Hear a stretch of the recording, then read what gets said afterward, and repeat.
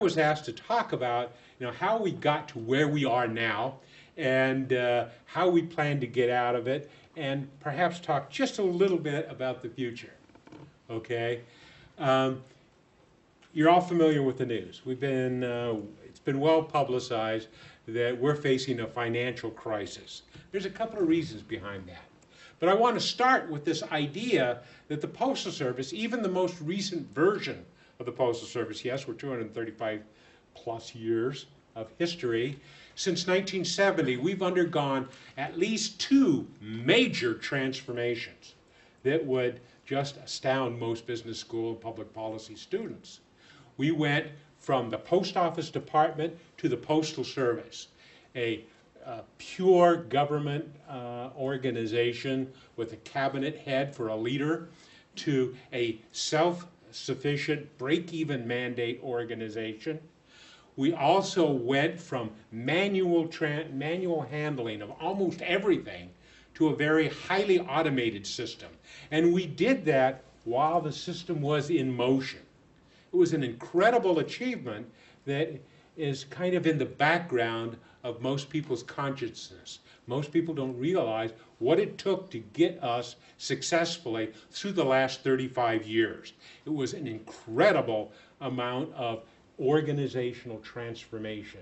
We actually have that in our DNA as we face the challenges of this particular future. Our challenge is, of course, that we've got to do both a business model change and an operational change in a shorter period of time than the 35 years we've we had under postal reorganization in a much less forgiving environment. Wanting, since we are so much in the background, we're taken for granted in many ways.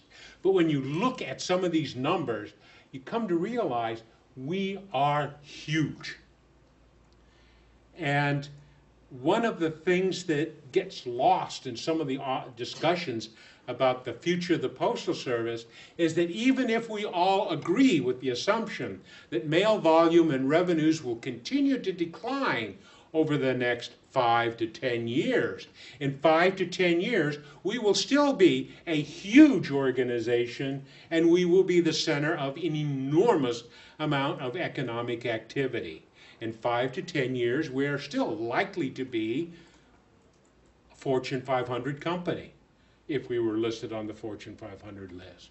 We would be the largest fleet owner. We would have probably, even if we got rid of all the post offices that anyone would want to get rid of, we would still have more retail locations than anybody else.